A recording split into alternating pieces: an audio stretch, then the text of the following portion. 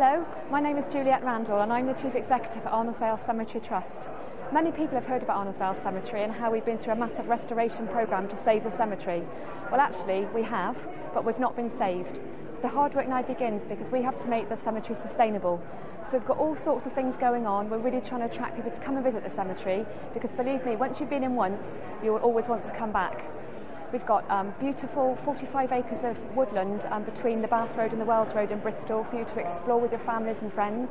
We've got two wonderfully restored um, Grade 2 chapels um, where we hold all sorts of events. At the moment we're holding Shakespeare in the evenings. We've got a volunteer run cafe at weekends, a gift shop, all sorts of tours, talks that you can take part in, as well as being a working cemetery where people and families come and remember their loved ones.